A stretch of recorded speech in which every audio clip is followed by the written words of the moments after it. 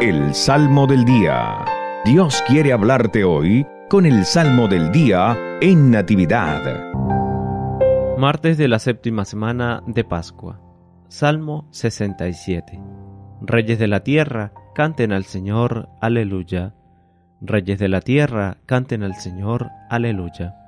A tu pueblo extenuado diste fuerzas, nos colmaste, Señor, de tus favores, y habitó tu rebaño en esta tierra, que tu amor preparó para los pobres. Reyes de la tierra, canten al Señor, aleluya. Bendito sea el Señor día tras día, que nos lleve en sus alas y nos salve. Nuestro Dios es un Dios de salvación, porque puede librarnos de la muerte.